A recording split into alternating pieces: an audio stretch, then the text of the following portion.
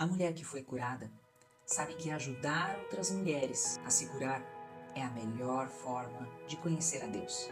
A mulher que curou suas feridas sabe que honrar o seu Criador é honrar o que ele mais ama, que são pessoas.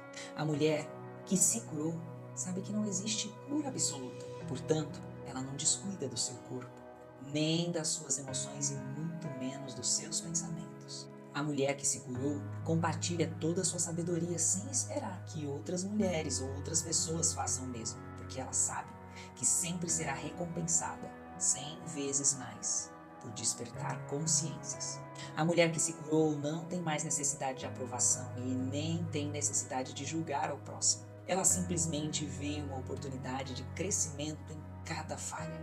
A mulher curada sabe que o maior e melhor remédio é o amor incondicional que recebe de Deus e que pode e deve transferir a todo ser humano com quem divide sua experiência aqui na Terra.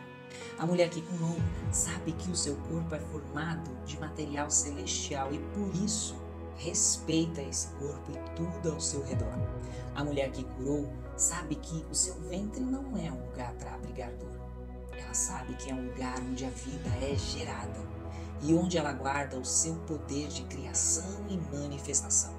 A mulher que curou sabe que abençoar seu caminho e o de outras mulheres serve para atrair a abundância para a sua vida. Feliz Dia das Mulheres.